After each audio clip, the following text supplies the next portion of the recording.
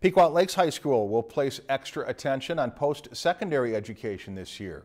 The school will partner with the Minnesota University of Minnesota in the Ramp Up to Readiness College Preparedness Program. Every Pequot Lakes High School student will receive weekly 30-minute lessons prepared by the U of M. The program analyzes a student's readiness in five different fields, academics, finances, career, social skills, and college compatibility. The United States has changed from making a lot of things to designing a lot of things. And our kids, to be competitive in the job market today, need to have a skill past a high school diploma. So Ramp Up for Readiness does that. It really focuses on every kid needs college. Now, we could all argue what college is, but our definition, is, our definition at Pequot Lakes is any training after high school.